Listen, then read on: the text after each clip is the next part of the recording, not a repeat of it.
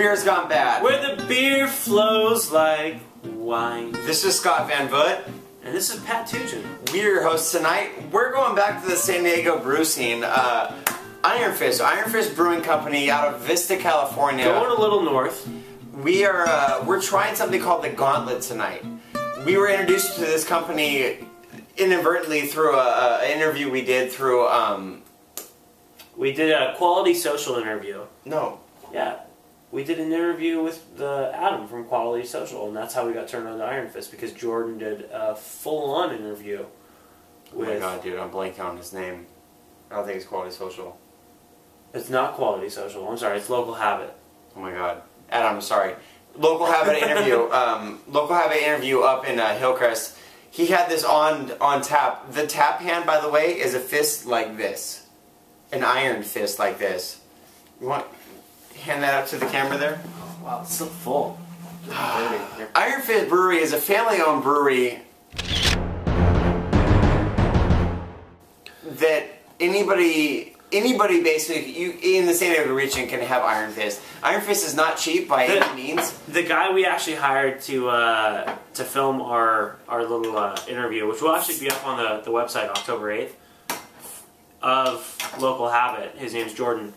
Um, he he did a part, or he did like a little piece with Iron Fist, and uh, he said it was a full family run business. 100% family run business. They were actually, they brewed more beer than they can handle and they were bottling everything by hand. They can only bottle uh, something stupid like one bottle for every like, you know, 30 seconds or something. And I heard the brewmaster's a young cat, like 22, and he and uh, he had talked all his family into leveraging everything to the hill in order to pursue this beer company.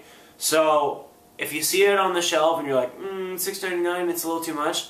Think about everything that they put in for it. Dude, 6.99. Try more Yeah, like 12.99. $12.99. This beer, this 22 costs 12.99. That's craft brew the freaking seams, dude. That thing is no joke.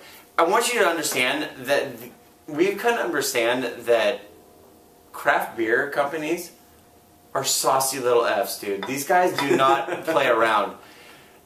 Every single explanation of their beer is a saucy explanation of who they are and why you should be drinking craft beer. On the bottle, on the back here, it says, wait for a second. Wait for it. Here it comes. If that sounds good to you, you can safely break your time on Earth into two separate categories. Two. The time before you tried the gauntlet and the time after you tried it. If not, that $5 50 pack is on your left. They're telling you basically, you know what? You're gonna try this, you're gonna flip your effing lid, and if you don't, no worries, go back to your Bud Light. Have One of my favorite time. things is when we first uh, started researching the beer after we bought it um, online. It was all the gauntlet. If this is your first craft brew, Don't do it. put it back. These will go somewhere else. Yeah, they told you to put it back because you're an amateur. Yeah, because because this is the real deal beer only. So I'm ready, dude. I'm ready Scott, to give me have color. a real deal beer. Um, I'm color excited for Iron Fist, honestly. I, I feel you too. Uh, Like- one Bud Light, Couldn't be cloudier. I'm gonna give it a four and a half. 10 Rasputin. Four and a half goes to Scott. I'm going to give it about a four and a half too because you know the color is actually light amber, but it's very murky. God. You can't see through this thing if you tried. The head on this thing is minimal to non existent, but you know what? I'm not going to hold it to it. Yeah, again, we, we may not be drinking out of the right glass here either. What do we got? It, what, this is an It's Imperial IPA, IPA. we're We probably should be taking this out of a snifter, but you know what? No worries. We're okay. Yeah, I'll, I'll do that. Go.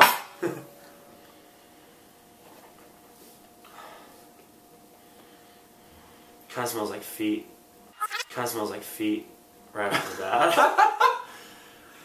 you smell that? Wow, it does actually smell like feet. It That smells like sweaty gym It, socks. does, it doesn't smell great. Oh, it doesn't. But I have to say, I tasted this before you smelled it, and I think this is an amazingly smooth beer. Oh wow, Wow. wow.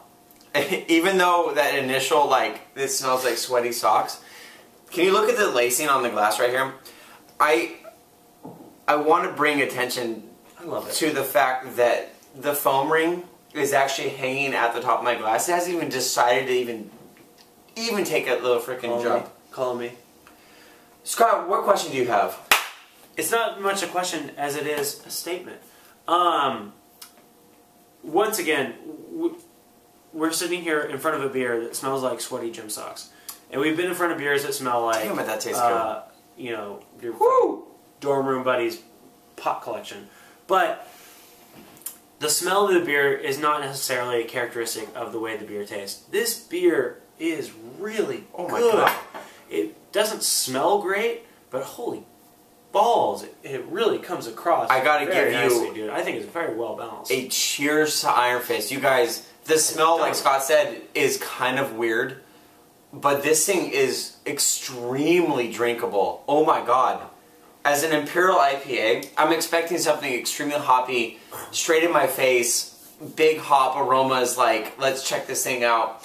And the smell, dude, that thing, that smells sour. Like, it smells what you're getting, almost rotten, but you know what? I could be wrong, but what I feel like, what I feel like between what I'm tasting and what I'm smelling, I feel what I'm smelling instead of hops, instead of what we, we come to associate with IPA, is the yeast. We're really getting that wheat, and we're really getting the yeast out of the smell. And, It's like a Hefeweizen IPA, huh? and right off the bat, you come off and you smell it, and you're like, oh, it smells terrible. But then when you taste it, it makes sense. And then you taste the hops. And the hops are really well balanced with this beer. It's nothing crazy. Again, hops taste like pine trees. Yeast tastes like what, what would you say? the- What did you just say? The yeast and the, and the wheat tastes like in this. like a Hefeweizen, like any kind of wit beer you've ever had, yeast, yeast usually gives you that kind of soury kind of flavor to it. You know, it, it- it's amazing though. Like you drink this thing, like I'm smelling right now. Just do it with me here. Not, dude, oh, it nothing appealing. It kind of smells smell freaking funky, actually. And then you taste it. It's smooth. It's full bodied. Like, dude, this thing's no joke. Like, this thing's got some serious flavor to it. Let's Iron Fist, you know what? Pat, let's just strength on honor. Where are you gonna Where are you gonna put it? I'm gonna put this beer. This thing is freaking tasty, dude. I'm gonna put this in eight and a half. The smell at about two, but the, the taste at an eight and a half. Like this thing is. This is a, a wonderful beer, and this is just an homage to craft brewing and people that you know what. Even though you're a family brew, you guys do a great freaking job, and I would seriously give you a high five if you were here in the room with me. I'm gonna bring it down a little bit. I like it a lot, but hmm. I'm gonna put it at about seven, a solid seven. You give it an eight and a half, and that's awesome. And For what reason? For the reason that there is a little bit of bitterness that lingers and that bite, and I don't think that it's necessarily perfectly balanced. So although it tastes really well, and I like the malt, I like the yeast, I like the hops, but I'm still getting that really kind of like ooh sour, bitter taste right off the bat, and that's I al- what kind of sour almost taste to it. overwhelming the, the other flavors that are there, which are amazing. It's a, it's a well flavored beer, but it's kind of overwhelming that. And then that flavor lingers for me. Because of that, I'm going to have to drop it down to a 7. That's okay though, you know, and that's why we're here. Iron Fist, you guys did a great freaking job. I'm so glad you're on the scene right now. Big old knuckle bump to you guys, dude, through Yeah, the camera. to take it. Uh, Craft brew is a great movement right now. keep it up. Support your local brewery, support your local craft brew scene. Buy local, buy local craft brews. Thanks for checking in. We are the Beers Gone Bad. Where the beer flows like wine. We will see you next time, and you know what?